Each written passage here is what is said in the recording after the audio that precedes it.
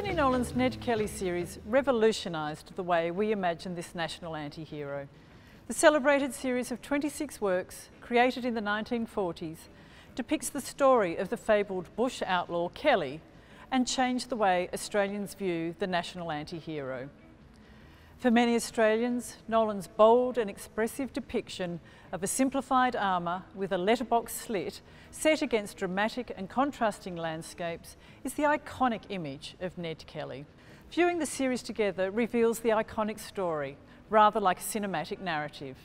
From the early images that set the scene through the landscape, then experience Nolan's envisioning of the key moments, the slightly more domestic scenes of the women in the family quilting the interior of the armour to images of conflict, death and blood in the bush.